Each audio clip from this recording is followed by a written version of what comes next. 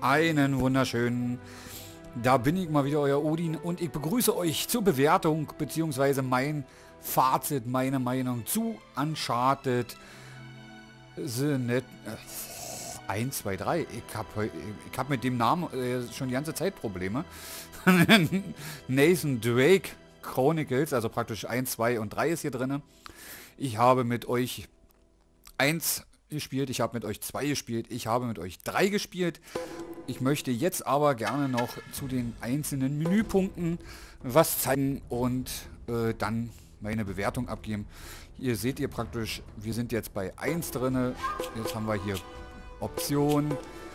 Die Optionen sind für alle gleich. Und hier haben wir dann noch Boni. So. Dann haben wir die Storyfilme. Dann haben wir Belohnungen. Ja, neues Design haben wir hier zum Beispiel.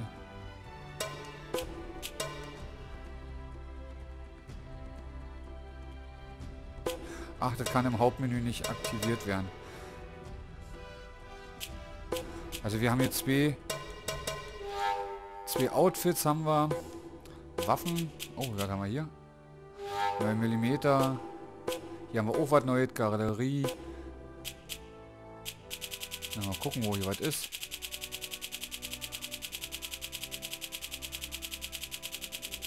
Alter Schalter, da sind aber ganz schön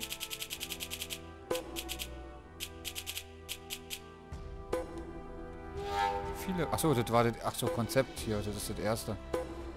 Ach, da finde ich aber gut, dass sie das überarbeitet haben, damit sie die nicht so gelassen haben. Feineinstellungen, ja, das haben wir ja schon.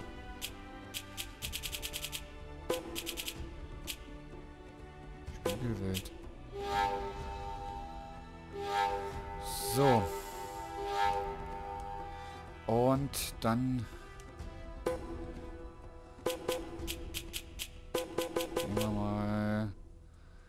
Titel. Gehen wir zu 2.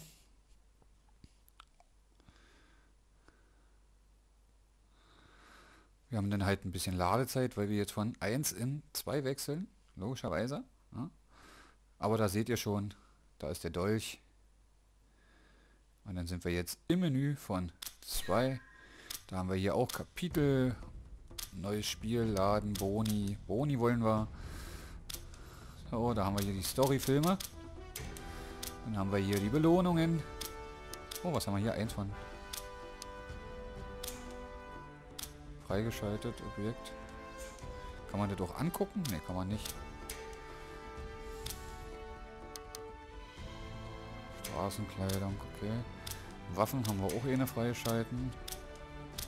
Hier haben wir nichts. Galerie haben wir auch nicht. Haben wir auch nicht. Ja, so, dann gehen wir nochmal bei 3 rein. 1 und 3. Ihr seht, man hat hier auch Haufen, was man auch sammeln kann, auch von den Klamotten her. Ich habe mir jetzt, ich habe jetzt die ganze Zeit auch die nicht jetzt irgendwie verändert oder so. Ich habe bin drin ins Spiel, habe meine erste Erfahrung mit euch zusammen aufgenommen. Nicht so schön und jetzt haben wir jetzt sieht, seht ihr jetzt, sieht jetzt anders aus die Wüste. Das Bild sieht schon ein bisschen klarer aus, also das Menü. Äh, das ist halt jetzt der aktuelle Titel 3, der neue, der kommt ja erst. Und da haben wir hier auch wieder Boni. Da haben wir Story, da haben wir hier die Story-Filme, die wir freigeschalten haben. Dann haben wir die Belohnungen, haben wir hier 1 von 8. Ja, können wir auch wieder nicht angucken, wa? Waffen,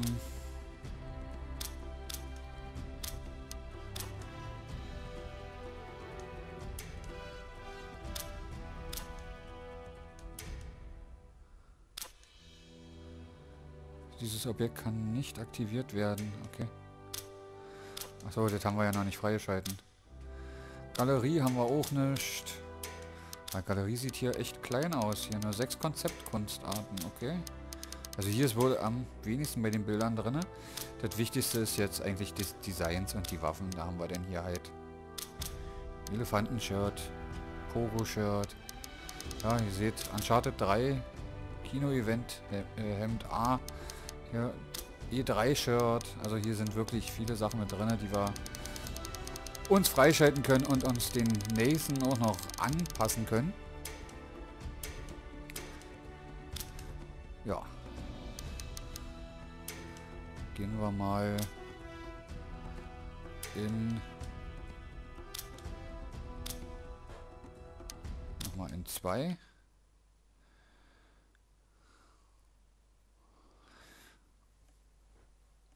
Also ich finde es gut, dass man hier so viele zum Freischalten und alle drum und dran hat. Ich, wollte, ich hätte das auch am Anfang von jedem Part machen können und euch die Belohnung zeigen können, aber äh, ich wollte lieber erstmal ein bisschen spielen und dann seht ihr ja, da hat man dann auch ein bisschen Klamotten gekriegt und ähm, was weiß ich, alle die kriegt und äh, sonst wäre da überall 0-0. Aber wir gehen jetzt einfach mal in 2 und dann gucken wir uns das mal so ein bisschen an. So. Okay, Jetzt gehen wir auf Boni, Belohnungen, Designs, aktivieren. Um Der hattet ihr schon an.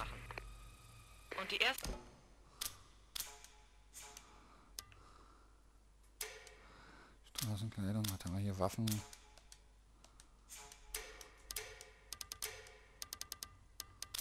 Hoppala. Das sind die Schätze, die ich gesammelt habe.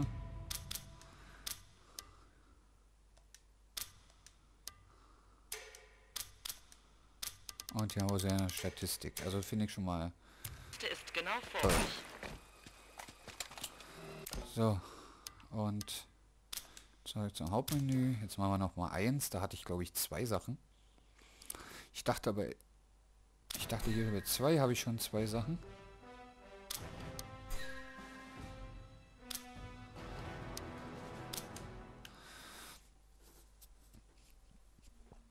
Also hier kommt wirklich, hier habt ihr eure, könnt ihr eure Sammelwut auslassen, ihr könnt Straßenkleidung sammeln, Konzeptkunst und so, weil ich kenne ja ganz viele, die stehen ja total drauf im Spiel, irgendwas freizuschalten zu können und ähm, sich das dann danach dann in Ruhe anzugucken.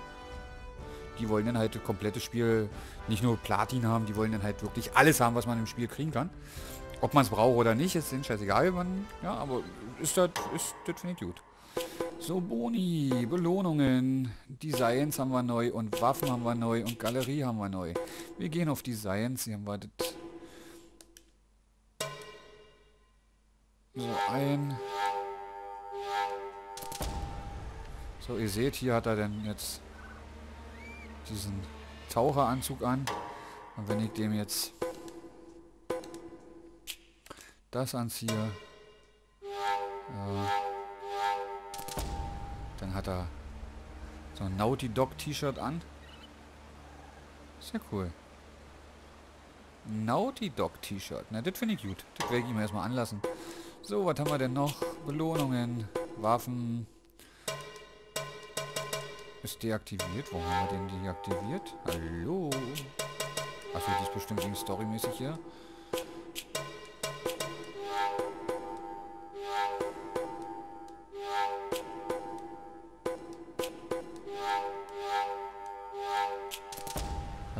Ihr seht, so schnell hat er neue Sachen an.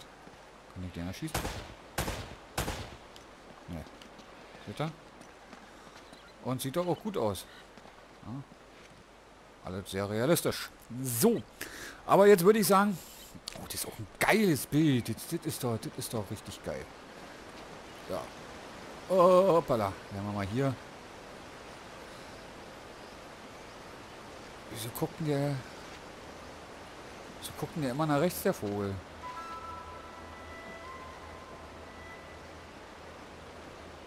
Achso, wie, achso, wie ich den linken Analogstick mache.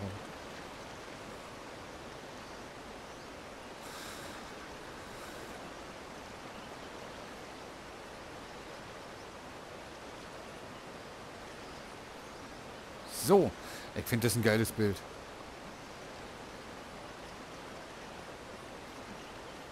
So. Dann würde ich jetzt sagen, gebe ich mal mein Fazit ab. Ich habe es ja schon bei Teil 1 gesagt, wo wir Teil 1 gespielt haben, dass ich das eine sinnvolle Alternative finde für die Leute, die jetzt keine Playstation 3 hatte, hatten. Weil ich kenne auch einige, die sind von Xbox auf PS3 gewechselt, weil die PS3 nun mal das stärkere System momentan auf dem Markt ist. Da kann man sich auch drüber streiten. Einige sagen nee, andere sagen ja, aber ist nun mal so. Rein von der, von der Hardware her und äh, ist die Playstation halt nun mal die bessere Konsole auf dem Markt und die meisten Xbox-Spiele, die jetzt auf den Markt kommen, die sind alle 900 zu WSX Watt. Ja, und äh, die Playstation halt direkt 1080p generell. Das ist doch schon mal positiv. Für die Leute ist jetzt so eine Collectors Edition richtig geil. Für mich ist sie jetzt geil in dem Augenblick, weil ich habe ja, eins habe ich nicht, aber zwei habe ich und drei habe ich spiele momentan meine PlayStation 3 aber gar nicht mehr oder so gut wie gar nicht mehr, weil ich den Controller scheiße finde. Ich habe mich so an den PlayStation 4 Controller gewöhnt, den haben sie so schön überarbeitet. Und äh, ja, da bin ich ein bisschen verwöhnt dadurch und äh, möchte halt nur noch den PS4-Controller in der Hand halten, weil der hat, der ist richtig schön ausbalanciert, der ist toll, der liegt geil in der Hand, der ist angenehm.